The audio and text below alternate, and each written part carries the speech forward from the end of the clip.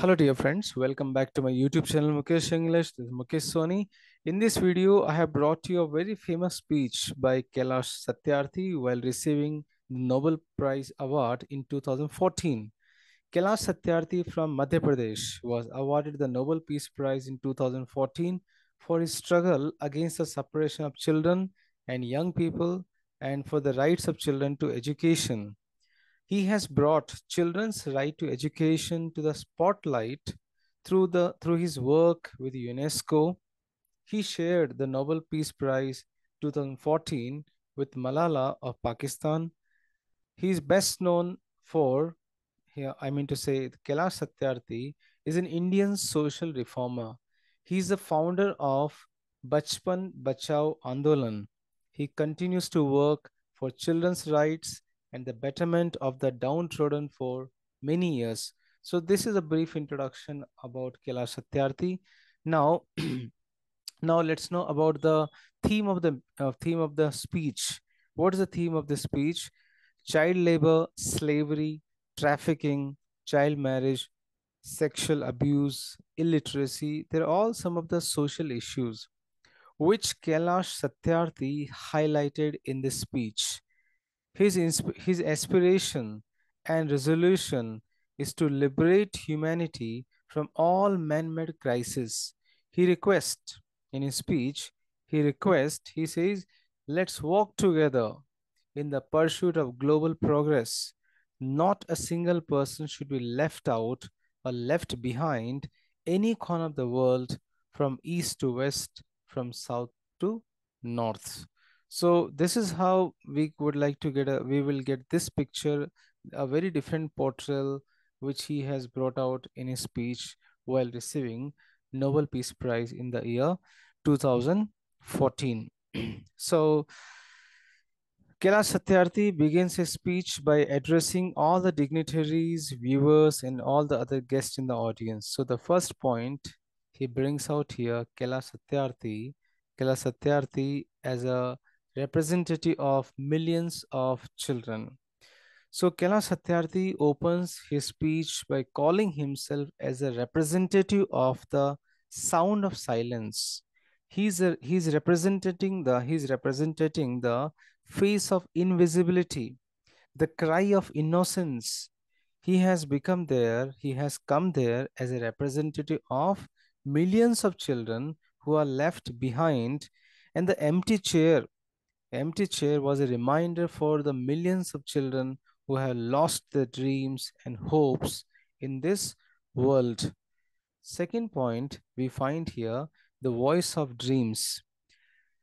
Kailash Satyarthi considered himself to be the voice of the dreams of those who lost their childhood and hopes. He then goes on to recollect an instance from his memory.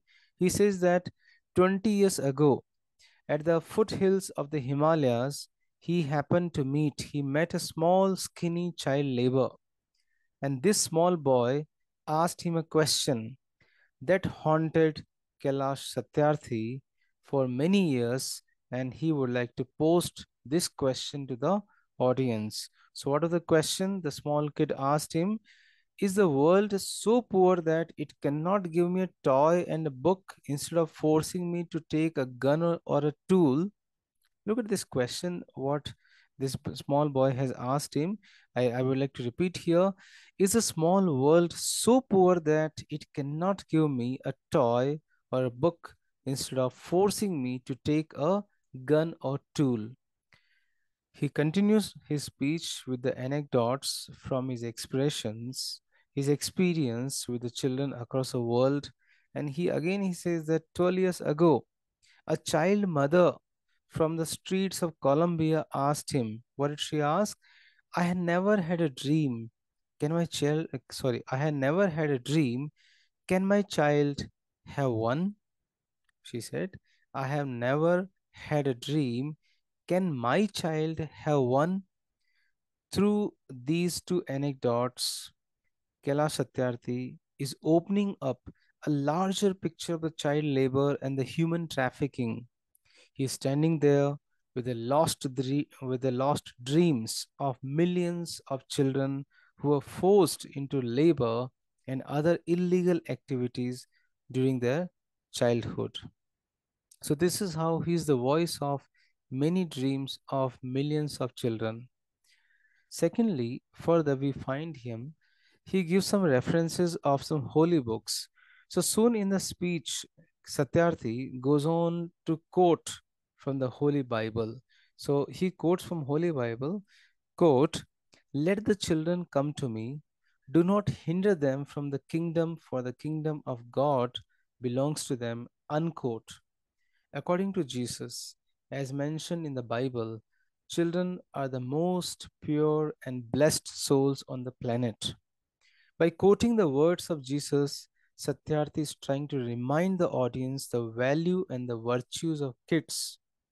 Then afterwards, he quotes some important quotation from the Holy Quran to quote, kill not your children because of poverty. Quote, kill not your children because of your poverty. The Holy Quran is asking not to punish the children for poverty or for any other reason caused by us. The Holy Book is reminding us to protect and to take care of such children. The, the, so this is how these two holy books teaches us to look after the millions of children, those who have millions of dreams. Now the next point we find here, Satyarthi would like to refuse to accept something. What is this? For Kailash Satyarthi, there is no greater violence than to deny the dreams of children. If you're denying the dreams of children, dreams of children, you are doing some the greatest violence. He says he refuses to accept that all the temples in the mosque and the prayer houses have no place for the dreams of children.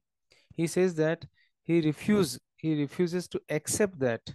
He does not he refuses to accept that all the temples, mosques, and the prayer houses have no place for the dreams of the children.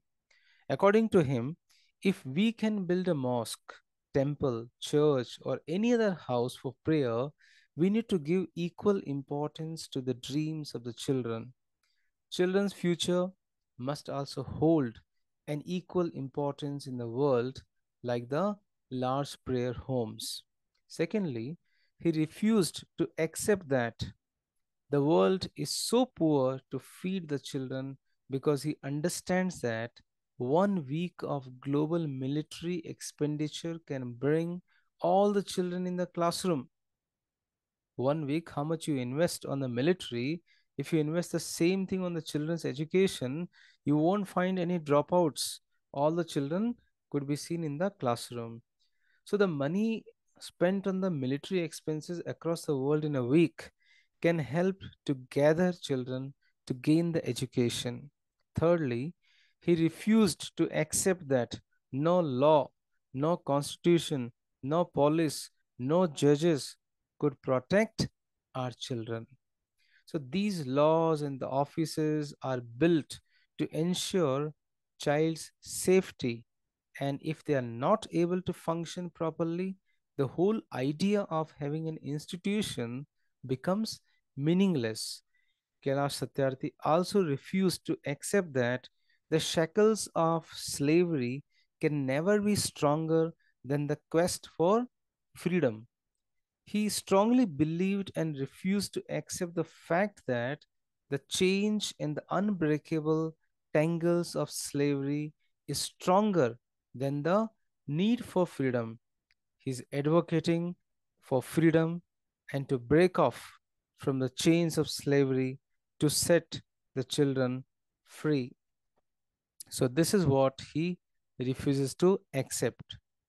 Now, further, what's his aim of life? Afterwards, Kailash Satyarthi keep on explaining. He explains his aim in life. He says that his aim in life is to ensure that every children born in this world grows, eats, sleeps, develops, and sees daylight. His aspiration is to ensure that every child loves, cries, dreams, learns, and goes to school. The most important is here, they must go to school. So he aims for a world in which every child can have a dream. He carries on to say, he continues to say, he was privileged to work with many courageous people who have the same aim. They are never, they have never, they are never willing to stop or never return back, even if that means that they have to sacrifice their own life. So they are not scared of the threats or the attacks because they believe strongly in the aim and they believe that the change is required. So finally, he says that we have never given up. We have never given up against any threat or attack, and we never will. Now, the biggest challenge or the biggest crisis, according to Satyarthi, the biggest challenge or the biggest crisis is that that is knocking to us. So, what is the biggest challenge, biggest crisis today? Is the fear and intolerance. Fear and intolerance will help the injustice and violence against children grow and not help bring in change. It won't help to bring the change. Then, uh, then he calls Malala, uh, Malay, Malala, uh, or Shazia his as his own daughters and he says that Malala, Kainat, Shazia, they're all victims of violence because they all stood for the right for a child to have a dream and education. He goes on to point out that all these brave people have chosen peace over violence, tolerance over ex- tolerance over extremism, courage over fear. So this is how they were able to overcome such kind of challenge or such kind of crisis. So we find an optimism note, a ray of hope. Satyarthi is not disappointed completely. He sees a kind of a hope, a ray of hope. He believes that the solutions will not be found in conference rooms or as prescriptions from a distance from the actual issue only when one gets into the matter and understands the complexities of the issue, we can easily find out the appropriate solution. So we need to enter, we need to enter, we need to understand all such complex issues, then obviously solution will also be there. Now the next one, he is going to narrate a story and which can bring a great role in the to bring a change in the world. So Satyarthi then moves to he further he talks about a story to explain how even one tiny contribution can change the world he says one heavy fire breaks out in the forest and every animal including the lion the king of the forest everybody decides to run away lion then spots a small bird trying to extinguish the fire with a little drop of water on its beak. What does the lion saw? The lion, he sees that one small bird is bringing drop by drop, drop by drop water to extinguish the forest fire. Lion laughs at the world and mocks her for her stupidity, but the but the bird was very adamant, and she stood her ground by stating that she wanted to do her bit so the what does the author say the author says here the speaker says here the lion laughed and said wow hmm. can you do it keeping just one drop of water in your beak? So that means to say our small attempt our small attempt can bring a great change. That's what mr satyarthi would like to say here. If everyone puts their efforts if everyone joins their hands obviously we can bring a great change. Now, the ninth one, I mean to say, the further he says that we are living through the we are living through the age of rapid globalization. Immediately, he reminds us, he reminds all the listeners that remember, dear friends, we are living through an age of rapid globalization with the help of high speed internet today we have good services, flights. So we are all connected from all the corners of the world. So a lot of changes are possible, but there's a lack of compassion. What's lacking is here. There's a lack of compassion. He believes that only compassion for each other can change the world. Global compassion is the only way forward. Finally, he quotes the words of Mahatma Gandhi, quote, if we are to teach real peace in this world, we shall have to begin with children, unquote. So I, I, would like to, I would like to repeat here. He quotes Mahatma Gandhi's words, if we are to teach real peace in this world, we shall have to begin with children. So this is what he says here. We are in the age of rapid globalization and we need to have the compassion and we need this global and what kind of compassion? The global compassion we must have. Now, he asked a lot of questions to the audience. He posted, he has posted series of questions in his speech to the audience. Number one, first question, whose children are they who stitch football boots that have never played with one? Number two, whose children are they who harvest cocoa yet have never tasted chocolate? Whose children are they who are dying of Ebola? For fifth one, fourth one, whose children are they who are kidnapped and held hostage? So all these are the rhetorical questions they have only and only one answer. They are our children. What's the answer of those four questions? They are our children, the children who goes through inequality, child labor, human trafficking, and diseases are all the children of the world who have to contribute to make this world a better one. Now, there was a one question which eight-year gold, uh, eight-year girl asked one question. So here, Mr. Satyarthi remembers another question